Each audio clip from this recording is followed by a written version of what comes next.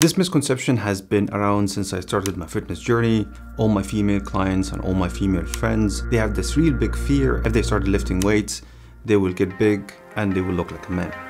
I spent around 50 hours researching this topic and unsurprisingly, there aren't really many studies on female training, let alone the female body. However, recently there have been some interesting studies and data shedding some light on this. But I thought instead of just showing you the data and the studies, I would also interview someone from the same gender. In this video, I will be interviewing my girlfriend.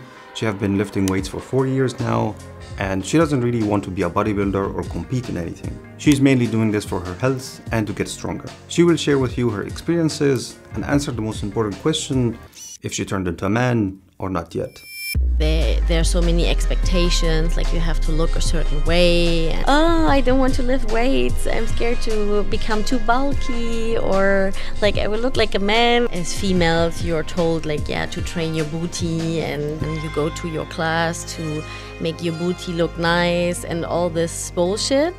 Women should do whatever the fuck they want first of all. Welcome Hello. to, the, to this uh, mini podcast episode. Thanks for uh, having me why don't you just tell our audience what do you do? Uh, what is your background since when you started lifting? Just a small intro, people can get to know you better. Yeah, so I started weightlifting, I think four or three years ago. It was actually during the pandemic, so I would say it's actually it's been three years now. I mean, I've always been into sports of different kinds. Uh, I always like to move. I've been into running a lot, and during my studies, I even uh, ran a half marathon and stuff like this. So I've always been quite active, and also very important, I started doing karate when I was 13 years old, and I've been doing this ever since. And it has always been part of my journey, and I love it. So why don't you just begin from your running times? How did running uh, impact you physically and mentally? Yeah, so actually running was really important for me because it was a way to relax, to get out of my mind. And also, for example, when I was living in different towns or even when I was traveling, I used to love to go for a run to explore the city or my surrounding a bit. But if I compare myself uh, now uh, to back how I was back then, I would say it's a huge difference Mm-hmm. even though like I used to do karate like three times a week and also going for runs. So I was really active. Like I did a lot of cardio mostly. I mean, of course, martial arts also include some some weight training, some body weight training mostly. And I think I would say I was I always used to be quite strong. But now, since I've been lifting weights for three years now, I feel physically so different. I gained some muscles, of course. I hope so. um, and my body composition has changed a lot. Which, at the same time, I want to stress this like, this is actually not the main reason why I started lifting weights. There was a time when I was always a bit a bit anti gym, and I used to make fun of like all the gym bros, and I thought, oh, it's actually boring. Like, why would you go to the gym and just like torture yourself? Why would you do this to yourself? I was more, yeah, into martial arts. I mean, I still am because I think like there's a whole philosophy behind this, and uh, it's very uh, diverse, and like there's so many aspects of the sports, and this is what I always found very interesting. Mm-hmm. Um, but, but then, did you have also the this common misconception that if you start lifting weights, you will look like a man? Yeah, maybe a bit. Yeah, mm. it's a mm-hmm. very common belief. So what true. what do you think of this um, misconception in society? Yeah, it's actually a bit funny because like once you start lifting wa- weights yourself, you realize how difficult it is to gain weight uh, to gain muscles. And then it's a bit funny to me when girls be like oh i don't want to lift weights. I'm scared to become too bulky or like i will look like a man and then i'm like i mean right now i would be like well i wish because it's really hard to actually gain muscles and to change your physique or like to look strong or that you look like you actually go to the gym you know uh, so it takes a lot of effort a lot of time mm-hmm. and i mean that's what i wanted to stress on like this society's view on this is kind of uh, very skewed uh, especially now with instagram and social media and stuff all the people you see there most of them they take drugs So it's super easy to say like, oh, if I lift weights, I will start looking like this. But it's actually not. You need to work like this for 10 years and then take drugs and then maybe you'll look like this. So it's kind of misleading so much right now. Yeah, and of course, like there's this uh, this aspect, but actually for me it's very important to stress that what was actually a game changer for me was also like this change in mindset that my main focus or my main goal was to be strong. Yeah. yeah. So once you start focusing on that, it completely, or at least for me, it changed completely my mindset and my motivation. Because it's like usually, you know, women there there are so many expectations like you have to look a certain way and you go to your class to make your booty look nice and all this bullshit and of course i think we also have to be honest like of course one motivation to work out is like that you feel comfortable in your body and that you feel you feel good you feel nice and this can be in different shapes like there's not one way. This i find it also important to to stress. But if you if i go to the gym and be like oh i want to be strong like i want to i want to feel strong and it's nice to be able to lift heavy and not only in the gym but also in your daily life you would feel a difference you know? Yeah for sure. And, and it's it's very important like while researching for this video i came across many many studies showing that women especially women they need to start lifting early the best time is to start very early, like early 20s, even teens. Uh, but the next best time is now. Uh, so don't don't feel like the time has passed because of, of bone density issues uh, when you grow up. Especially for women, the bone density as you grow up decreases. So it's very important for women to start lifting early to, to compensate this a bit. And as you said, like mentally, you feel much better, you feel comfortable, you feel strong like it changes your like view on things right? Yeah definitely. And this is a very important second aspect i would say. It's like i also do it for my mental health. It's for me to to relax or after work if i want to yeah free my mind of all the stress. It's also stress relief of course um, because when you're lifting heavy, you you don't have time or you can't think about something else. Um, you have to really focus on your body and also to connect with your body. This is also nice. Like if you feel yourself and you you feel different parts and yeah different muscles, you actually start to feel some muscles you've never felt before or you didn't sure. know they mm. existed. Actually, that's also an interesting experience. I think also seeing you at the past three years I feel like your relationship with food changed a lot. Like you used to not eat as much, now you're eating a lot.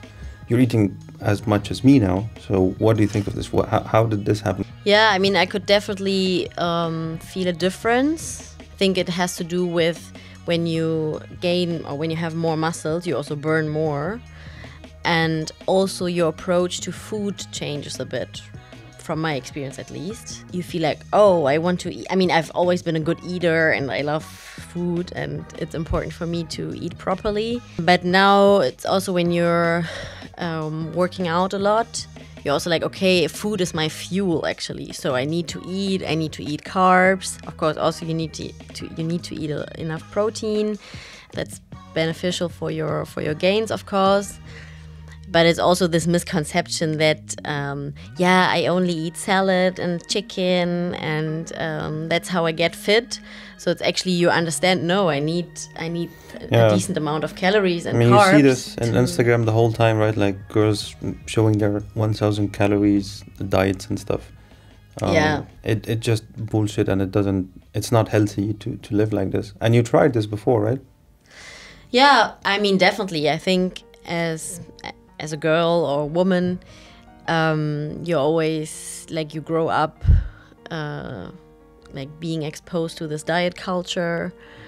And uh, for sure, like when I was a teenager, there were some times when I tried to do a diet or whatever, but I was not really knowledgeable about diets or food, mm-hmm. even you would just like try some stuff you've seen on the internet or you've heard yeah. about or whatever. Mm-hmm. I'm glad that I never had like any issue with eating disorder or anything like this because actually when I was a teenager I remember this was a huge issue in my environment. Yeah. Like I knew yeah. so many girls who had eating disorders also. So I think that's also a very yeah dangerous par- part and I think also in the fitness industry or culture, you need to be careful with um, Not overdoing also it. this yeah this risk. And honestly, I mean, I never tracked my calories, so I didn't really know how much I was eating. But you're the expert. Uh, I mean, also living with a bodybuilder has changed my perspective. But I also I've learned a lot. Um, yeah, now I'm eating way more. I mean, I'm still not tracking my calories actually. But you track it when you start losing weight, right? Yeah, so sometimes, um, like so far, I did two cuts actually, mm-hmm. and then I, I tracked my calories because it's Yeah. really more, way more efficient, and it really helped me a lot to still eat a lot of food and still mm-hmm. eat the food I like. But yeah, you have to be in a deficit, so that's why I Yeah. tracked my calories. And this actually gave me a very good overview of how much food I can eat or how much food I actually eat when I just eat intuitively. Mm-hmm.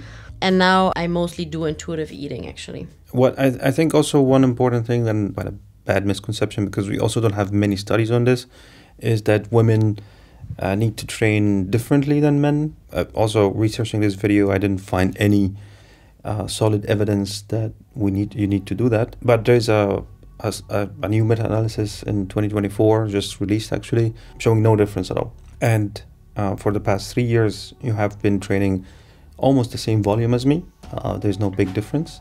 So do you feel like your body's destroyed, or you feel like because you're a female, you uh, you're training too much or something? No, not at all, actually. I mean, there has al- also been progress. For example, I started doing a full body workout and working out like three days a week on average. Yeah, and I mean, it helped me a lot that you gave me like this plan and like you showed me different exercises. And um, so I had like some orientation what to do. I think that was very helpful in the beginning, especially. But then when you get more into it, uh, for example, at some point, I think like it's been two years now. I've been uh, I'm I'm working out four days a week on average. I'm doing like two upper body sessions and two lower body sessions. And yeah, as I said, for example, usually as females you're told like yeah to train your booty and you know to focus on your booty Only train and your lower body. and your yeah um, or like to have a flat uh, stomach a flat belly at some point like when you get more into it in, into yeah lifting weights you you want to be stronger but also at some point you're a bit like oh okay i also want to grow my arms and i want to have some biceps and i want to have a, strong back you know? And this is not only for like how you look but it's also because you want to feel strong and you know when people my age they tell me like oh i have back pain and stuff i'm like yeah okay. And you don't have maybe there's a problem here mm-hmm. and yeah you actually discover that you have back muscles you know and as i said like i mean it's not that i've never been working out before i was always quite sporty i would say Yeah, but that's the thing, right? Like you need weights to grow muscles. There's no way to grow muscles except weights.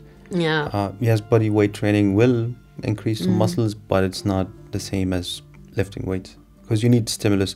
As I've said in this channel many, many times, you you need sleep, food, uh, and progressively increasing the weights every week to build muscles. Other than that, it's not gonna happen. Yeah, I can definitely confirm that. But it's not a contradiction, right? So for me, it's not only lifting weights. So I still do my martial arts. I still love it. I still love trying new exercises or new kinds of sports. It's not a contradiction. Like you. I mean, I don't want to be a professional bodybuilder or anything, so I'm mostly doing it to feel good and strong. So this also leaves you room to try new stuff. I think that's also the problem with many people. They don't like the gym, which I understand. The gym as a, as a place and the people there are a bit. It needs getting used to. You can consider it as medicine. You know, like you just go there, do the thing, and then other days you can enjoy whatever you want to enjoy. But it's kind of needed right now. Like back then, when we had less research on resistance training, it was more uh, only do cardio and you'll be fine. But now it's more do cardio and do weightlifting. But yeah, so but that's really interesting because you're doing karate, you're doing weightlifting, and also walking a lot and doing your cardio. And biking. Yeah. So so how do you manage your time? Like how do you fit all of this in one week? And because you still work like a full-time job, right? Yeah, yeah. I have a full time uh, job on average, like maybe 50 hours per week. Yeah, because I get this a lot, right? Like, oh, I don't have time to go to the gym. I don't have time to work out. So please enlighten us. Yeah, I mean, there's no uh, magic trick or anything. So you still have to go at the end of the day. And for sure, I have some days when I come back from work and I'm just tired and I just want to sit on the couch and eat some stuff, some chocolate. Uh, For sure, there are those days. And it does need discipline, for sure Yep. and motivation. But also, I think there are a lot of things or a lot of hacks, if you want, um, that help you a lot to have a plan. Like an exercise plan, uh, and I, I write down all of my sessions and my progress, and this like motivates me a lot because you also see your progress, and also this gives me some structure. Okay, I know uh, what to do on which day. I think some people it would help them a lot to also go with friends, like to have a common commitment. For me, it's a bit different. I mean, I love my friends and I'm not antisocial or anything, but for me, the gym is really something I'm, I, I do it for myself mostly. And because, especially at work, I have to interact with a lot of people and um, I have to socialize the whole day. So I actually enjoy going to the gym by myself mostly. Um, but I think maybe for some people it's nice if you go together with your friends. And yeah, sometimes we go together. This also uh, is nice, of course. But yeah, you just have to just do it. That that's the, the that's the problem. You, it has to be done, right? It, has to be done at the end of the day, yeah. But yeah, you can You can make it as frictionless as you can. That's what, what's Yeah, for sure. Yeah. And also, yeah, to make it a habit. I think that's also very important. Do you remember how long it took you to make it a habit? Yeah. Not sure. I mean, I think probably a couple of months. No. Yeah, maybe six months. Mm-hmm. Because in the beginning, when you're a complete newbie, I mean, I would say maybe now I'm an intermediate. And in the beginning, of course, it's a bit hard because, like, you still don't know all the exercises and you're struggling a bit or you're in- intimidated also. Um, and after a while, it gets easier, of course. No. And also, it's motivating because you see some progress, and Yeah, for sure. this I mean, for sure helps. yeah, I mean, I, I mean, you have your sheet. Uh, you have been tracking since since you started. You can see all the progress. It's always going up. yeah, It's- I mean, it's, it's it's quite motivating to see this. no? Yeah, for sure. I mean, some stuff it's also a bit frustrating sometimes Yeah. Because it takes a lot of time, and in some stuff, uh, you're you're stagnating at some point, and then Yeah, I mean, you I- have to push yourself. I mean, I know what you what you mean. It's, it's quite interesting because in, in this 2024 meta-analysis, women in your biceps and your shoulder, the muscle fibers there are uh, of the slow twitch type, which is harder to grow. And unlike men, we have the fast twitch fibers in our shoulders and biceps. So it's easier for us to build these muscles. Uh, so I understand. So it's quite frustrating to grow your biceps and, and shoulders. But So- there has been progress, and this at the same time then is really motivating for sure. So also, I understand as a woman you have your menstrual cycle. So how do you train around this? You have a you have a way of working around this. How do you do this? this was really something I had to discover myself, and it took me um, some time to first have the awareness. Yeah, I had to educate myself about this because I didn't know much. Like, you don't learn this at school, you don't learn much about your menstrual cycle. But now there are many, well, there are many women on the internet, and they're talking about this. And actually, this also helped me a lot to uh, yeah to educate myself and to also try what works for me. For me the best way is to also kind of synchronize my workouts or my my work workout cycles to my menstrual cycle. Like in the beginning of my cycle i feel more energized i feel stronger overall feel better and also my i feel like my pain tolerance is much higher so i can lift very heavy. And those are like the weeks when i go as heavy as i can and i really push myself. Um, and then when it i get closer to um, the period again or like when i feel i have some pms this is usually for me around like two weeks. And it also depends. Like sometimes it's stronger, sometimes it's it's better, not the same each month. But I also take care of this. So this means like I'm being a bit nicer to myself. I still go to the gym. Usually I still work out, but I do some deload sessions. I just mm-hmm. don't lift as heavy as usual. And I'm in general I'm trying to be a bit more yeah Because you also tolerant. Mm-hmm. yeah. yeah. so I, I can't take as much pain as usual. and I think it's very important, for me at least, it was very important to accept this, you know, because I used to get very frustrated about this and I'm like, nah, I'm not as strong as. Uh, as usual, and it's annoying. No. And you have to me, accept this. Yeah. yeah, for me, I, I find out that once I accept this, but I still go, I still try what feels nice. Like, for example, sometimes in those sessions, I focus more on my form or I try new things. And this makes me less frustrated and I, I generally feel feel better. And then also, this makes me work even harder in the first part of my cycle when I have more energy and my estrogen is high um, and I generally feel better. And also sometimes, of course, when you ha- when you're on your period, I mean, me personally, I like to work out. Uh, it's okay for me to do a deload session. For I think for some women, it's really uncomfortable. I think then it's if you don't feel it, honestly, it's better to stay in bed No. True. Uh, and eat some chocolate. uh, for me, I have this sometimes uh, in my PMS time when I feel like oh, really my energy is so low or I have body aching or something.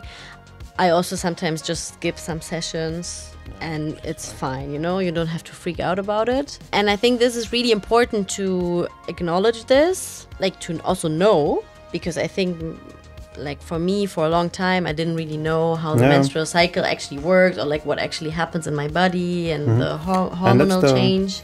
That's the main issue here. Like, there's not enough studies um, showing this, and the, Mm. the couple of studies that I found, uh, they're showing that the performance doesn't change from your from your PMS times to after the period. Like, it doesn't make sense from hormonal standpoint because your hormones goes up and down, but the study seems to be showing like everything is fine.